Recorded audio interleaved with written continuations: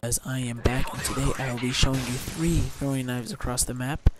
And I want to thank you guys for the support you guys have been showing lately on my first commentary.